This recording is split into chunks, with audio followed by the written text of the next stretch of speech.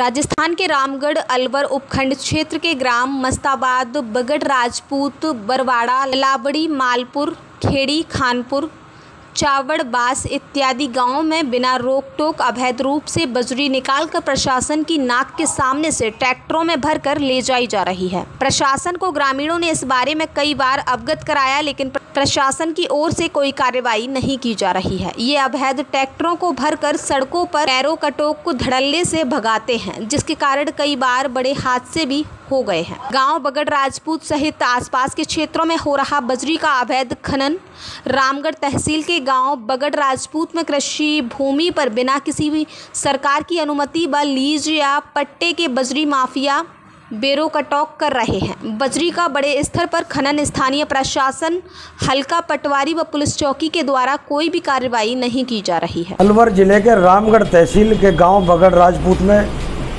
बजरी का अवैध खनन जोरों पर किया जा रहा है। बजरी के खेतों में गहरे गहरे गड्ढे, कृषि भूमि पर बना दिए गए हैं, जिनसे आए दिन हादसे हो रहे हैं। गाँव की जो मुख्य सड़कें हैं, वो क्षतिग्रस्त कर दी गई हैं।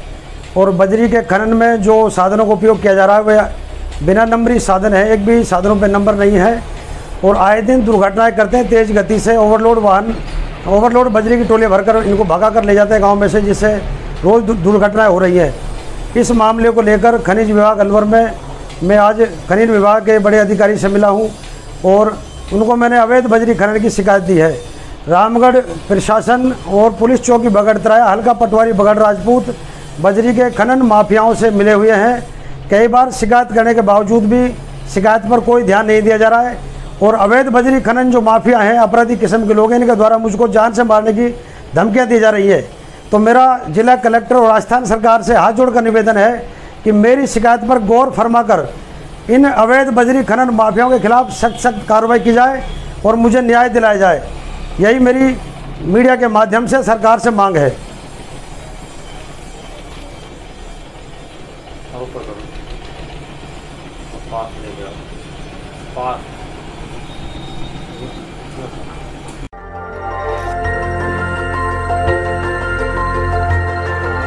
देखते रहिए डीबी भारती समाचार।